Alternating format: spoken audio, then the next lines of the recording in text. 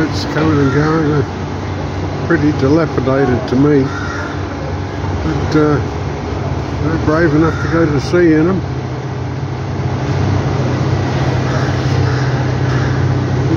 Don't look like they've got a lot of safety equipment. Uh,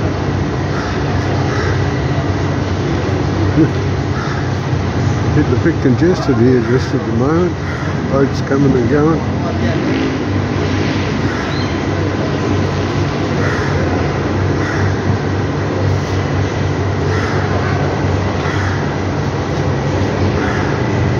Everybody working in here processing fish.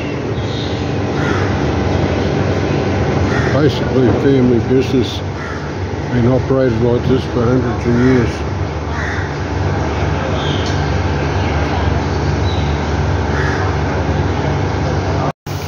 Fish markets, uh, tiger prawn, 38 ringgit a kilo, that's, uh, that's about $10.30 New Zealand a kilo. There's a little big one for deer. And uh, Fishing boats. Cleaning fish. Everybody working here.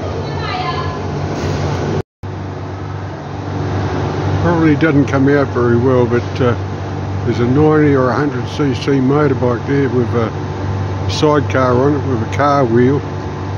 Uh, it's not a question of the weight. Uh, they'll stick probably oh, 500, 600 kilo of uh, produce on that sidecar and then two of them will jump on the motorbike and they'll rip the shit out of it to get it anywhere. And you see them on the side of the road, the clutch are burning out, they're pushing them.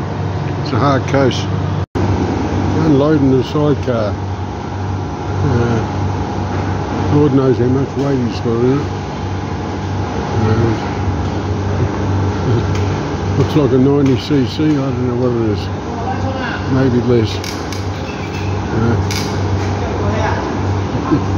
don't care about weight. Not, doesn't weight doesn't count. It's the bulk. It's how much they can fit on it. Yeah. Amazing. Hundreds of these little motorbikes with sidecars around.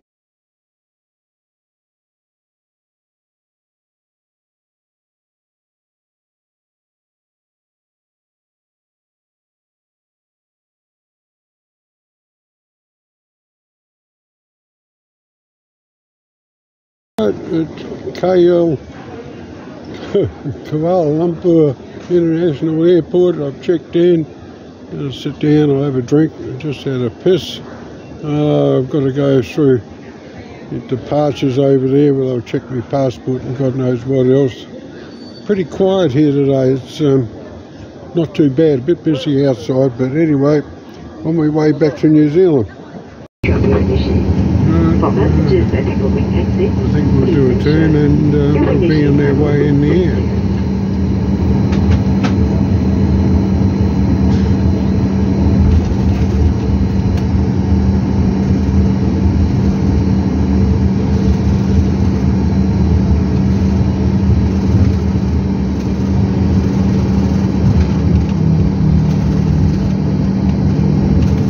Yep, that's how it usually works. Do a turn and uh, off we go. Oh, there's Air Asia bastards. Stay there. Never fly them. Bunch of thieves. Thieves. That's all they are. Getting ready to go.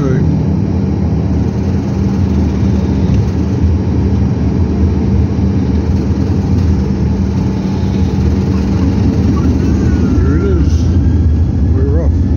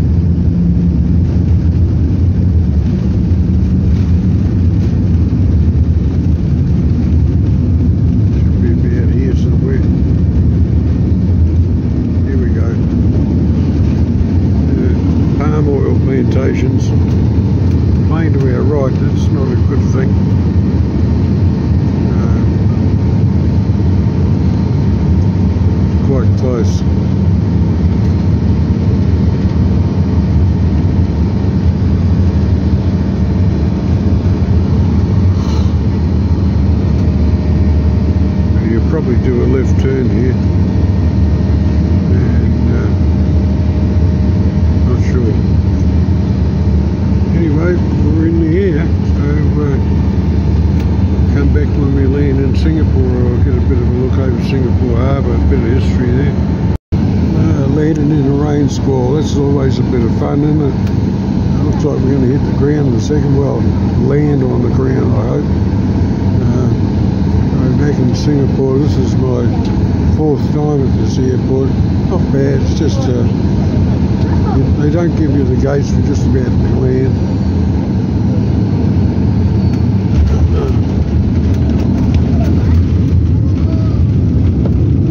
Checking. Right up to this.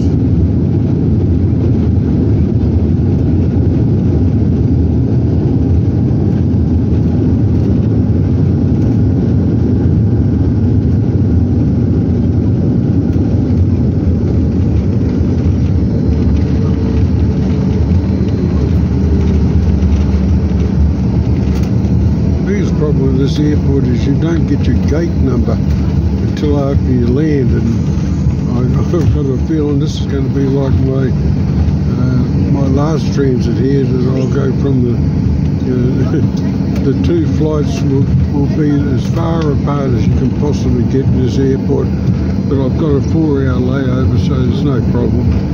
Uh, worked it out last time it was 45 minutes between the two furthest points so uh, we're here. Well back in Changi airport another few miles to walk. I can catch a train and a bus. I can't be bothered. I've got four hours in here. So uh, get these little travelators they're only crawling but as soon as you get on them they pick up speed. They know that um, there's someone on not much not much traffic here today. It's all pretty pretty quiet. So uh, we've got I don't know. Probably at least another two and a half hours before I even board. So uh, this is Changi in Singapore. Right in Changi in the smoking area. It's civilised not too bad. A bit wet in here. Bit of a mess. Only a few of us in here. I'm almost at my gate. I've got a couple of hours to spare. I might go and have a piss. Um, I'll get to the gate about half an hour to spare. There's plenty of time. Flying business uh, is, not, is pretty easy. I believe in that big dome is uh, like um, a jungle. not sure. Uh, maybe one of these days I'll do a tour of this place. Alright, that's it for now. Uh, butterfly garden, haven't seen any butterflies, but uh, they're meant to be out here. A lot of people in here. Oh, here's a few butterflies. Uh, seem to be all over here.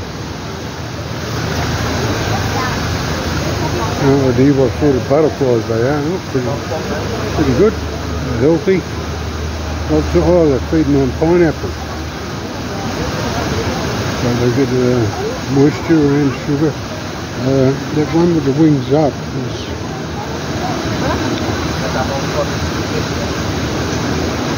was going to say it's a moth. Um, moths sleep in the, um, the day with their wings flat. Um, butterflies sleep in the night with their wings up like that. Oh, it's bloody noisy in here. So no idea what sort of butterflies these are, but they're pretty interesting.